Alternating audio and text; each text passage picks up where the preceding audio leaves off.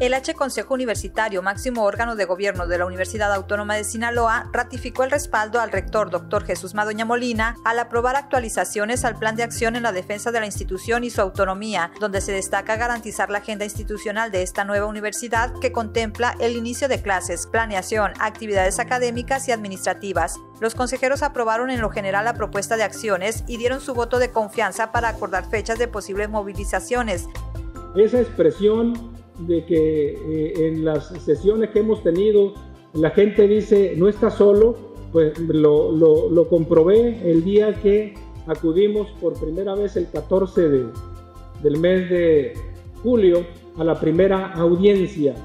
Indicó que el apoyo de los universitarios también se vio en la segunda audiencia y se tienen agendadas tres más. Pero no vamos a, claudicar, yo ya lo he dicho, eh, con la convicción bien eh, establecida de que no vamos a permitir que se violente la autonomía universitaria, eso no entra a ninguna negociación. Informó que al subsecretario de la SEP, doctor Luciano Concheiro Borges, en su reciente visita a la UAS, le dijo cómo se encuentra el ánimo de los universitarios. Unidad, unidad en la comunidad universitaria y ha despertado el espíritu de lucha eh, por defender lo que es la autonomía universitaria.